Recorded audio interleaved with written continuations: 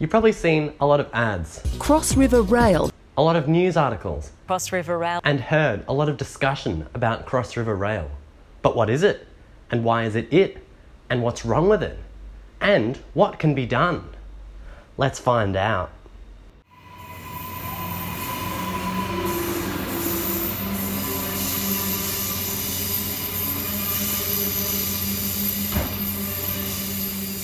To begin our journey of knowledge, we first need to know about Brisbane's heavy rail network as it was and is before Cross River Rail.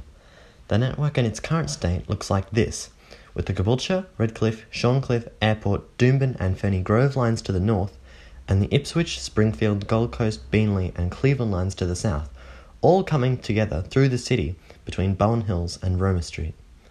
This map is what we'll be working with in getting to understand Cross River Rail, and you'll notice it's a bit different to the one that's generally in use, and that's because this map is showing, in a simplified manner, the tracks which are shared by each train line as they come into the city.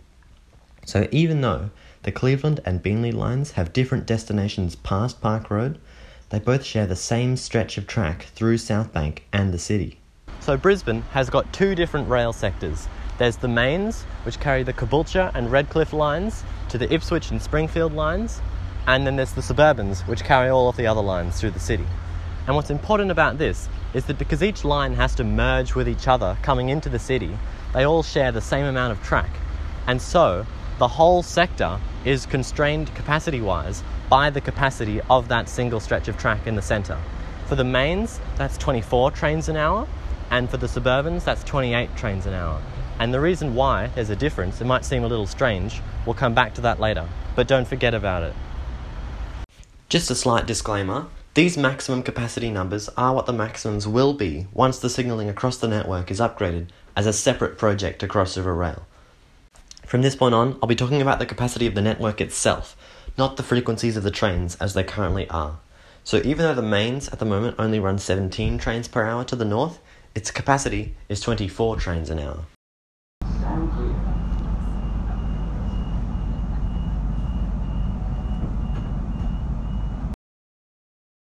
Cross River Rail first came about in its earliest form in the 2011 proposal by the state government. In the original design, all main sector trains coming from the north would travel through Mayne yards on a great big bridge and go into the tunnel just after Exhibition Station. Then they would go through the city, through the Gabba, with an underground station below Park Road, and then continue without stopping all the way to Yeerongpilly, where they would come up, continuing on towards Beenleigh and the Gold Coast. And it was that last section which caused the first big problem. Here is Yeerongpilly Station, where behind me a whole row of houses would have been destroyed to make way for an upgraded station, and the locals were not happy. They were adamant that the project be changed, and in the end, it might have been, but it didn't matter because in 2012 the government lost their re election and a new government came in and cancelled Cross River Rail. In its place was UBAT, an underground bus and train tunnel following mostly the same alignment, but now instead of two single tracks, there would have been one double decker tunnel with buses on top and trains underneath. They also shortened the tunnel entrance, getting rid of the debacle at Yeerongpilly and saving money on the project. Instead, the tunnel would surface just after Park Road station. And this obviously would have meant a big difference for public transport users if it was ever built, but it didn't matter because in 2015 the government lost their re election and the original government came back in, cancelled UBAT, and uncancelled Cross River Rail, bringing back the Cross River Rail design but changing it around slightly, which led to the 2016 version of the project. Ditching the bus aspect and going back to single track tunnels, the new proposal kept the shortened tunnel from UBAT, but what they did change was the way the northern connection was set up, and the way they did it was very good. Remember, the goal of the project was to get more capacity from the north, from Caboolture and Redcliffe, down into the city. And what was currently causing the constraints is that limited section of track between Northgate and the city. So just adding another sector, the Cross River Rail, the physical tunnel itself, isn't actually going to increase capacity. So what they did was they looked at what had already increased capacity from uh, the suburbans to the main sector already, from 28 trains an hour to 24. And the reason is, it's the double-sided platforms at Roma Street and Central Station. So how do the double-sided platforms at Roma Street and Central work? Well, if we take a look at the mains, where there's no double-sided platforms, when Toby comes into the station and is letting off all of his passengers, the train, the next train down, Thomas, has to wait outside the station for Toby to leave before he can come in, which takes a lot of time, which means they have to be far apart so they don't crash into each other. But on the Suburban, when Rosie is coming along and she stops at the station, Percy can still come in much closer in behind, and he can stop and pull up next to her while she goes ahead to the next station. And because of this, they can fit much more closer together on the Suburbans compared to the mains. And this is what they've done on that section between Northgate and Bowen Hills, by having double-sided platforms at Northgate and Wooloowin, and by having the trains run express, which means they can go faster because they're not stopping, they can fit much more trains through that capacity than they normally otherwise could. So they can get, instead of 24 trains an hour, 30 trains an hour through that single stretch of track. So, with 30 trains an hour coming from Northgate into the city, that's too much for just one sector to handle. So they were going to be split from the mains and the tunnel, and were going to do that through a flyover junction at Mayne yards.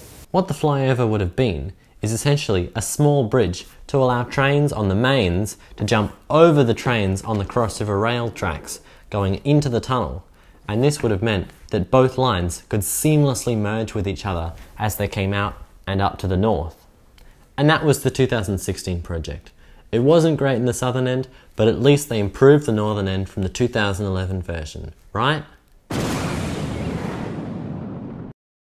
In 2019, the project was changed, and what the change did was remove all of that neatness at Mayne with the separation of the double-sided platforms and instead go back to the 2011 proposal of just have all the main tracks go into the tunnel. These trains are then going to surface past Park Road and continue on to the Gold Coast and Beenleigh. Then, with the inner city main sector free of any trains, the Shorncliffe, Doomben, and Airport lines are going to be sent through them and out west to Ipswich and Springfield. And the Ferny Grove line is going to have the suburban tracks all to itself, connecting up with the Cleveland line after heading through the South Bank area. And that's where we are today. Well, remember the initial goal Cross River Rail was set up to try and achieve creating more capacity for trains from the north to the south of Brisbane. That's the Caboolture and Redcliffe lines to the Beenleigh and Gold Coast lines. So let's really dive into the frequencies of these trains and see if that's going to be achieved. Starting from the south, there are 20 trains per hour currently of capacity for the Beenleigh and Gold Coast lines because they're sharing the track with the Cleveland line coming into the city. When the tunnel's built, they'll be, they won't be sharing that capacity anymore. So they'll get 24 trains every hour of capacity. So that's an increase of just four trains every hour, which is at least something, but it's not much considering the whole scale of the project.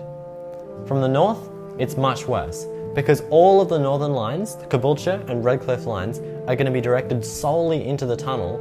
Their capacity is limited by what can fit into the tunnel, which is the same as the capacity which they currently have. AKA, there's going to be zero trains per hour of capacity through that whole section, even though that's what the whole project was set up to try and achieve. The capacity is instead being given to the lines which need it the least. The Shorncliffe line, Airport line, and Doomben line will be directed through the inner city main sector and on towards Ipswich and Rosewood, meaning they'll be getting 24 trains per hour of capacity, 10 more than they currently have. And that means it's the same amount of capacity that the Caboolture and Redcliffe lines will be getting. And these train lines are not in a high growth scenario. They are not needing more capacity. But the worst case is on the suburban sector. The Ferny Grove line, currently which only gets 8 trains every hour, will be getting instead 28 trains an hour of capacity through the city and connecting out to the Cleveland line. That's far more than they currently have and far more than they currently need. It's also more than any other sector, any other line, or multiples of lines connected together on the Cleveland line and the Cleve and the Ferny Grove line, which don't need the capacity. Here's the thing. Unless they build more stabling out on the Cleveland line so that trains can be stored there in the day, or they add another track to the single track sections which are currently still on the line today, the Cleveland train can't run any more capacity than it currently has.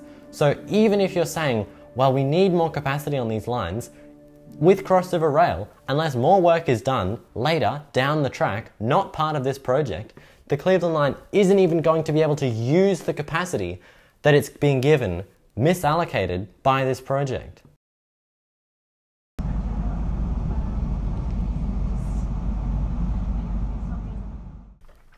You know, the whole time I've been working on this project, researching, filming, editing, finding out just what the deal is with Cross River Rail, the thought occurred to me maybe I should talk to someone who knows what they're talking about, some kind of rail expert who's written a report on Cross River Rail just a few years ago.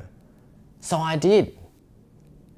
David Bannister is a former Queensland Rail employee, rail expert, who in 2019 put together and released this the Minerva Plan, a detailed description of the problems of Cross River Rail as I've just explained them, and recommended a future strategy for the network on how the problems can be fixed. Unfortunately, since the time the report has been released, construction has gone ahead anyway, and now it's too late for the changes to be made.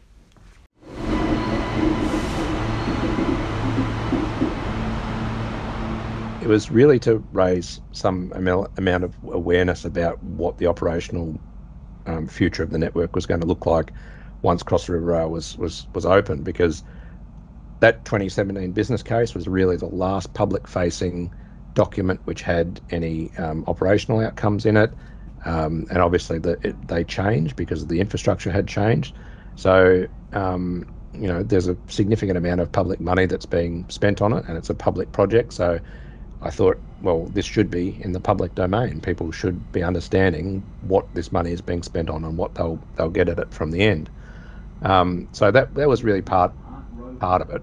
Um, and then once I'd gone through that process and developed and seen what was happening and realised that there were these problems with, um, I guess, what I, I, saw coming from these infrastructure changes, I wanted to pre- present an alternative. Um, so um, basically a, a, way to improve the outcome. And I guess it sort of stems from two creeds to try and follow. That is one is don't come to me with problems, come to me with solutions, and the other one is be the change that you want to see. So, um, you know, on the on the former case, you know, I provided a, a program of works that would keep the project within the same footprint but allow it to be developed later. So it wasn't a case of just being crit- critical and saying this won't work or it's suboptimal. It was a case of all right, there's issues here, but here is how you can enable, you know, a better outcome in the future. Yeah, so I guess the the critical thing about what would be the most important thing to enable that to occur, to enable that future um, for rail, is to have a, a clearly defined and agreed upon rail strategy. Because if you don't have basically your end state vision in mind, um, then you can never be certain that you're working towards ultimately where you want to go. So, um, in you know, in that case, if you've got a clear vision about where the rail network's headed, then every project has an onus on it to make sure that it's progressing and developing um, in in that direction. Um, how you get to that as as as a member of the public, well, there's there's multiple ways that you can you can get involved. So. Um, you could join a public transport advocacy group like Rail Back on Track. You know, they're in the news almost every second day, um, and you know the forum there is quite active, and people talk about it, and it is it is viewed by um, people in, in power, so they see the comments on the forum and, and all this sort of thing.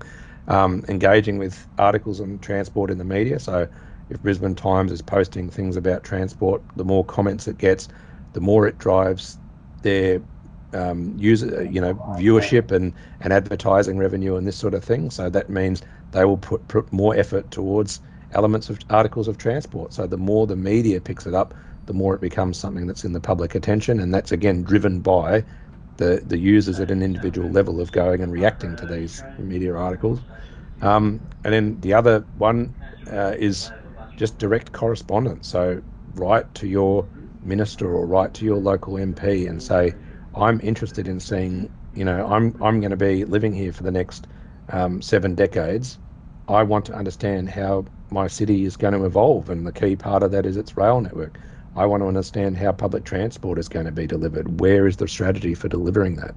So the the, the more pressure there is, the more interest, um, then the more they'll they'll they'll take it seriously and they'll they'll move towards that. I mean, um, you know, elements of this are, are viewed sometimes through a slightly political lens, and if it's the political is about what the public wants, and if the public wants more public transport, that's where they get to, and that's only perceived by correspondence. So there we are. Cross River Rail is due to open in early 2026, and it looks like its problems are here to stay. But in the meantime, you'll probably see a lot more ads, a lot more news articles, and hear a lot more discussion about it. But now, you'll be the one to know what its deal really is.